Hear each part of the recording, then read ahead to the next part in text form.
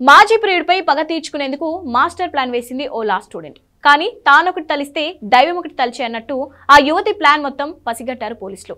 ఆమెతో సహా మొత్తం గ్యాంగ్ను అరెస్ట్ చేసి లోపలేశారు. హైదరాబాద్లోని జూబ్లీ హిల్స్లో జరిగింది ఈ ఘటన. హైదరాబాద్లోని ఓ లా కాలేజ్లో ఎల్ఎల్బి చేస్తున్న ఓ యువతికి కొన్ని రోజుల క్రితం తన బాయ్ ఫ్రెండ్తో గొడవ జరిగింది. అది కాస్త బ్రేకప్ వరకు వెళ్ళింది. దీంతో ప్రియుడి మీద కోపం పెంచుకున్న యువతి పగ తీర్చుకోవాలని నిర్ణయించుకుంది. కోపం ఉంది కానీ ఆ కోపాన్ని ఎలా తీర్చుకోవాలనే మార్గం కనిపించలేదు. దీంతో తానే కర్త కర్మక్రియ అయ్యి ప్రియుడిని ఇరికించాలని ఫిక్స్ అయింది లా తెలివి వాడి తన స్నేహితుల ద్వారా గంజాయి సేకరించింది. ఆ గంజాయిని మరో ఫ్రెండ్ సహాయంతో ప్రియుడి కారులో పెట్టించింది. తర్వాత తానే పోలీసులకు ఫోన్ చేసి ఆ కారులో గంజాయి సరఫరా జరుగుతోందని క్లియర్ ఇన్ఫర్మేషన్ ఇచ్చింది.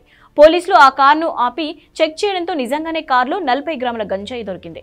దీంతో ఆ అబ్బాయిని అరెస్ట్ చేసి విచారణ మొదలు పెట్టారు పోలీసులు. తనకేం పాపం తెలియదని ఆ అబ్బాయి ఎంత చెప్పినా వినలేదు. కానీ పోలీసుల విచారణలో అబ్బాయికి క్లీన్ రికార్డు వచ్చింది. గతంలో కేసులు కానీ గంజాయి డీలర్స్తో కాంట్రాక్ట్స్ కానీ ఏవి ట్రేస్ కాలేదు. దీంతో ఆ అబ్బాయి చెప్పింది నిజమే అనుకొని అమ్మాయి యాంగిల్లో విచారణ చేయడం ప్రారంభించారు పోలీసులు. ఆ అమ్మాయిని పిలిపించి ఆ కారులో గంజాయి ఉన్న విషయం ఎలా తెలుసంటూ వివరించారు. క్రాస్ క్వశ్చనింగ్ చేయడంతో అమ్మాయి దొరికిపోయింది. దీంతో అమ్మాయిని ఆమెకు సహకరించిన మొత్తం స్నేహితుల బ్యాచ్ను అరెస్ట్ చేశారు జూబ్లీహిల్స్ పోలీసులు. కేసు నమోదు చేసి రిమాండ్కు తరలించారు. లవర్ మీద కోపంతో పగ తీర్చుకోవాలని తానే కేసులో ఇరుక్కుంది ఈ అమ్మాయి.